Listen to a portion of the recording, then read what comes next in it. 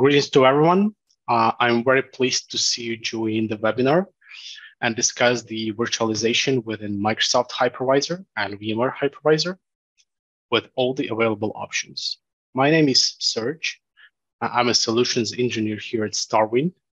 We have Diana with me. Uh, she's a solutions engineer as well. Uh, hello, Diana. How are you doing? Hi, Serge. Uh, doing well. How about yourself? Oh yeah, I'm doing great. So um, let's let's hit the roll. Today we are going to discuss uh, the recent trends in the IT infrastructure and compare the key points of going with either VMware or Microsoft virtualization. Uh, Diana will show you a quick demo and we will have a question time to answer all your questions.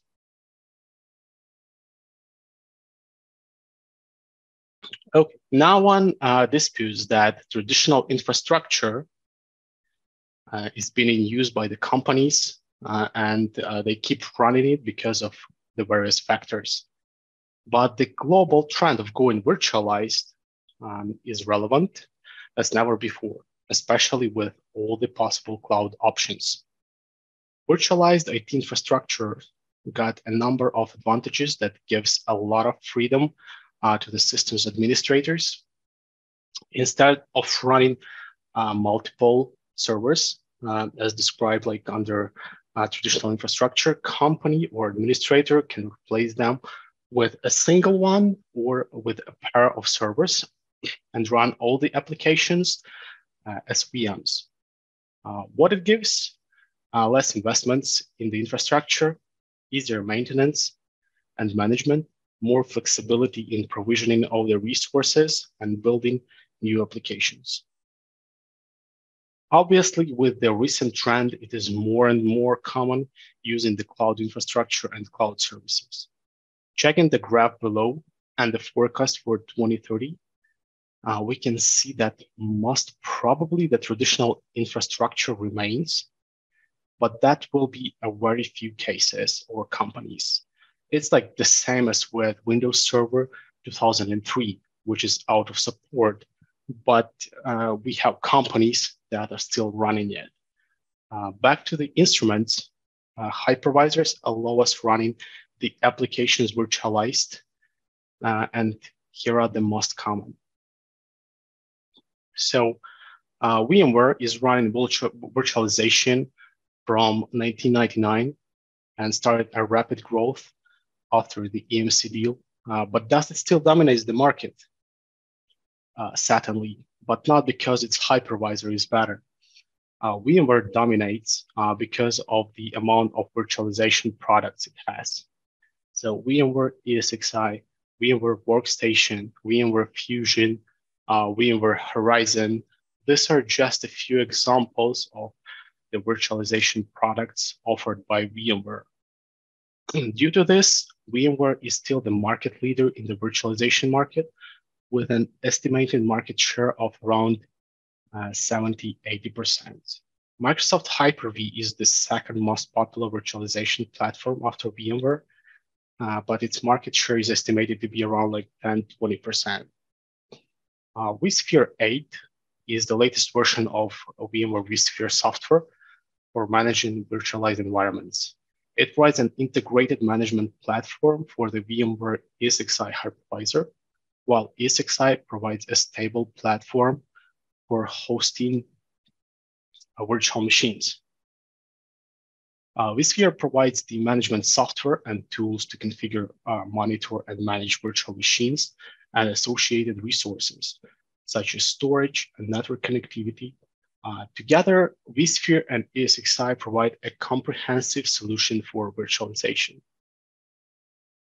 Uh, back to the competitor, uh, Hyper-V within Windows Server 2022, uh, along with Microsoft Failover Cluster, allows most of the functionality provided by vSphere uh, to keep infrastructure virtualized and highly available. Unfortunately, with the recent version of Windows Server 2022 operating system, we realized that Hyper-V Server 2022 was not released. So we could not benefit the free version uh, of Hypervisor OS anymore. But what happened?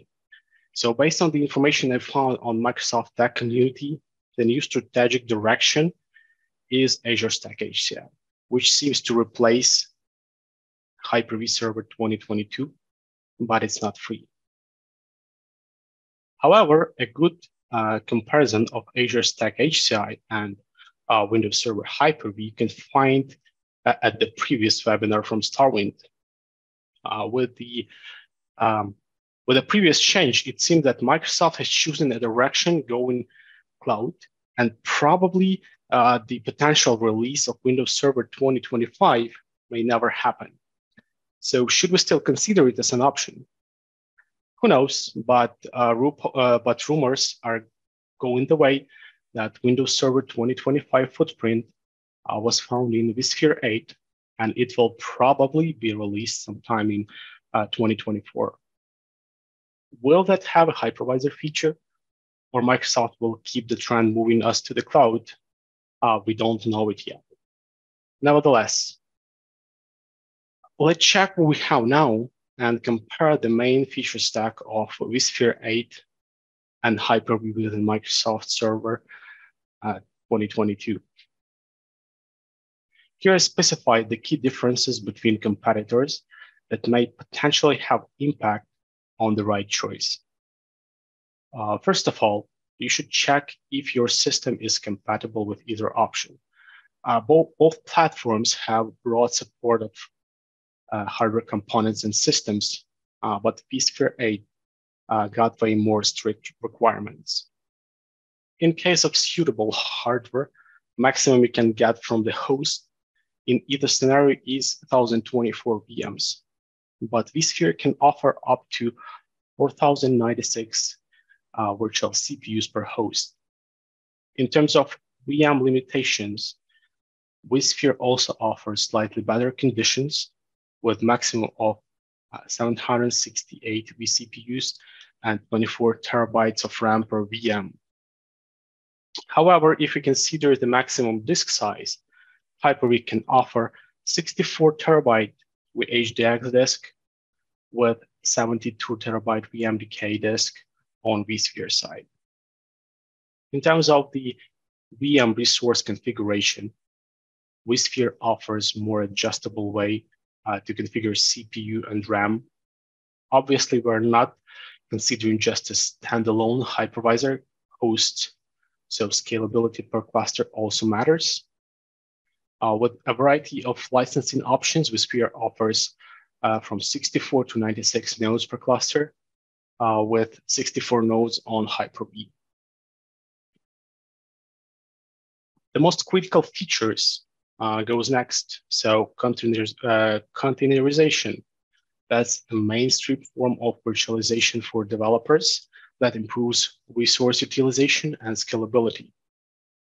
vSphere with Tanzu integrates the Kubernetes container orchestration platform as a native feature of vSphere. However, Docker works better with Hyper-V in both of the isolation modes. In terms of the security, both competitors offer a number of encryption op options that are relatively the same. The main difference is in the additional features. So vSphere offers fault tolerance and distributed resource scheduler. Like vSphere fault tolerance that provides a live shadow instance of the virtual machine uh, that mirrors the primary VM to prevent data loss and downtime during the outages. And the DRS, so Distributed Resource Scheduler, that spreads the virtual machine workloads across the vSphere hosts inside the cluster and monitors available resources for you. Uh, with the Hyper-V, I found a very useful the storage spaces functionality uh, that allows the creation of software RAIDs with no third-party applications or hardware. So let's talk now about how we can manage both of the competitors. Um, so for the VMware vSphere 8, I'll start with ESXi web client that allows to manage uh, the standalone ESXi hosts uh, with version 8 and recent patches of version 7, we got an upgraded user interface there. Uh, VMware vCenter Server is an advanced server management software that provides a centralized platform for controlling vSphere environment. Short, that is a controller VM for vSphere. So vSphere Web Client allows users to manage and monitor virtual machines, host and storage resources, as well as configure network settings, manage VMware high availability and distributed resource scheduler, and perform other tasks related to the virtualization management. VMware Power CLI, that's a collection of um, PowerShell modules, providing many commandlets to manage a wide range of VMware products. It allows to manage ESXi hosts, vSphere, and uh, VMware vSAN. Also, we should also uh, we, we can consider uh, different third-party tools that allows to monitor uh, and control uh, vSphere environment. So one of them can be like Veeam ONE uh, as, as good option. Uh, if goes to Hyper-V 2022, Windows Admin Center is being promoted uh, a lot as a reliable uh, browser-based management tool that provides a simplified interface for managing Hyper-V hosts and virtual machines. Another thing um, we are using is just a graphical interface. So that's uh, the well-known like Hyper-V Manager and Failover Cluster Manager that allows us to manage VMs and manage uh, the failover cluster. Uh, System Center Virtual Machine Manager is a tool that should be purchased in addition, and it allows you to manage multiple Hyper-V hosts and virtual machines from a single console. It got a rich feature set, but I would recommend checking it separately. PowerShell is a command line shell that can be used to manage Hyper-V hosts and virtual machines as well as it's good to automate certain of tasks. Uh, one of the third-party tools uh, that we can consider uh, to manage our um, Hyper-V environment is uh, StarWind Command Center. That goes along with StarWind HCAs. So it combines both monitoring and management functionality uh, to not only check the health state of Hyper-V cluster, uh, and performance metrics from the convenient dashboards, but also administrate the entire Hyper-V environment, starting from uh, nodes and networks and up to VM management. I do not consider yet going to cloud uh, on full. Uh, the average monthly bill may be slightly bit high. However, going hybrid cloud uh, makes a total sense. So both vendors have a possibility going hybrid cloud. Uh, VMware got its vCloud Foundation, and Microsoft got its Azure Stack HCI. Uh, VMware Cloud Foundation is positioned as a full stack uh, software defined data center uh, platform that includes vSphere, vSAN, NSX, uh, while Azure Stack HCI is a hyperconverged infrastructure platform that runs on uh, Windows Server. So VMware Cloud Foundation can integrate with public cloud services such as VMware Cloud on AVS, while Azure Stack HCI is designed to integrate with Azure Public Cloud Services. To manage VMware Cloud, you can go with a vSphere Web Client and Windows Admin Center is recommended for the Azure Stack HCI.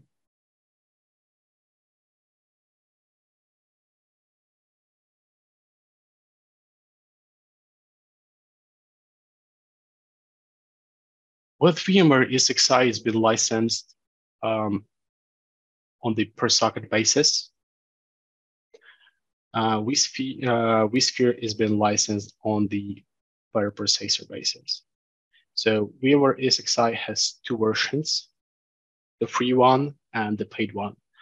What's really interesting about ESXi is that uh, the free and paid versions use the same installation media.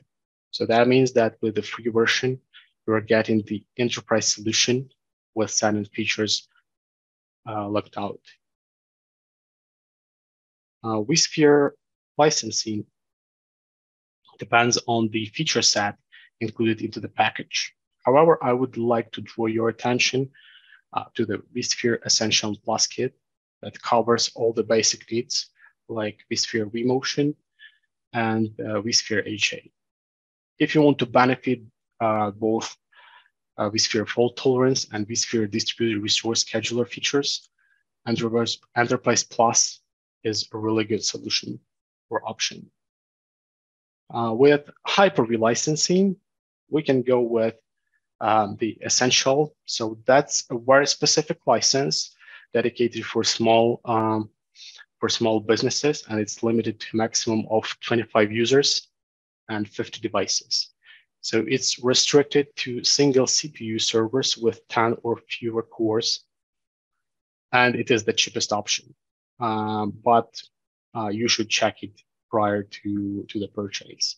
So um, Hyper-V standard license is the most popular option for businesses. It doesn't have such restrictions as essentials and got more features included into the license. So two virtual machines are licensed from the box and um, additional VMs require like the separate licensing. Um, the data center license is the most expensive expensive option and got almost no limitations. The good thing with data center is that all VMs are licensed from the box. If you want to benefit Windows System Center, uh, this license is purchased separately. So about the evaluations, VMware offers 60 days evaluation period, while Microsoft gives 180 days. Obviously, like with Microsoft, you have more time to evaluate the product and decide like whether that's a good option for you or not. For the support, uh, vSphere offers um, support options to VMware only. Uh, so it, it's including like basic, production, and premier support. Uh, these support options provide, um, provide varying levels of support services and response times, uh, with Premier offering the most comprehensive support. While Microsoft offers uh, per case support, uh, uh, basic and standard support uh, also that goes from Microsoft. So basic support provides 24 per 7 online technical support for critical issues, um, while standard support offers more comprehensive options, um, such as like phone support or rapid response times. Another option uh, to support your Microsoft environment is MSP support. Finally, uh, another thing that made a lot of noise on the forums is a subscription licensing, which is available in vSphere 8 and not available in Hyper-V 2022.